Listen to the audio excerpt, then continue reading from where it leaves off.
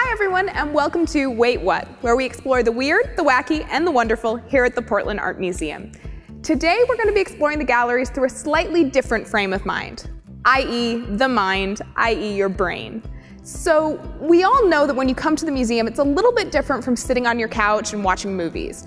It's a new space. There are things that you don't normally see. You're walking around with people. And what does that do to your brain? So, to help me out, I have two experts here from Northwest Noggin, a collaborative of scientists and students throughout Portland, Oregon.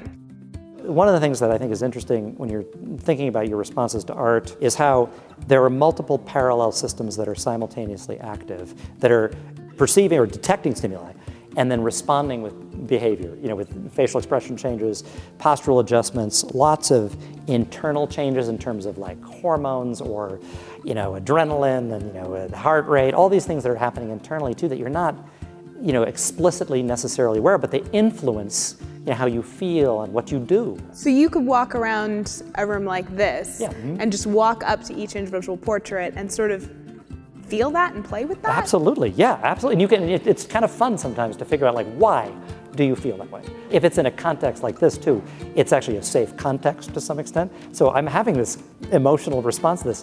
Why? Like what is it about it? It's a mystery. It's like uh, you're, we're going to figure out the, you know, the story Right. or the pattern, and that's quite motivating, you know, to try to get engaged at that level. So. But these are happening on a very subconscious level. I mean, Yeah. we're not mm-hmm. walking in here thinking about that. We just sort of make a snap judgment. Yes. Definitely. So there's a very visceral response, and actually, and some of them actually does have to do with your personal history. Like so, other factors like just the shape of his head, or you know, the color of his skin, or the cut of his hair, and things like that, may also, you know, based upon your own past experience, you know, provoke certain sorts of emotional responses that are kind of unbidden. You don't have a lot of control, and they're based upon past experiences with people who look like this guy. As things uh, uh, become more abstract, your brain is going to have a harder time figuring out the scene in front of you. You're constantly doing that everywhere, but um, the neat thing about artwork, and especially uh, somebody like Monet, is that they're really um, uh, consciously kind of manipulating those effects. One of the things he's doing in a painting like this is actually, you know, stripping away visual cues for depth perception. He's eliminated the horizon line, so there you end up with a much more flat image. We're very wired to continue searching until discovery, until we, we actually fig, kind of figure out what is going on. So we're motivated to do it. One of the first things we're, uh, we do is we try and Figure it out. yeah, uh, and and that includes immediately trying to identify objects within that space. Right. You may think that something is a a plane, and you're perfectly happy with that.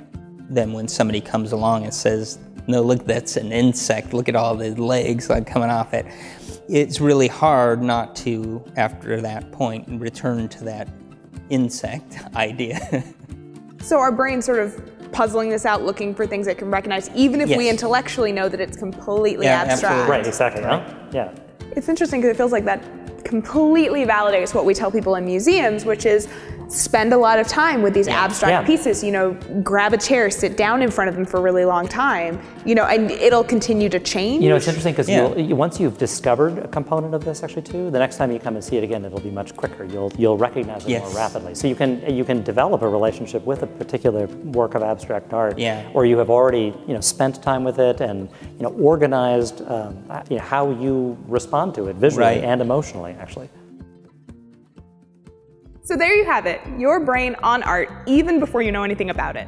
Thanks for watching, and we'll see you next time.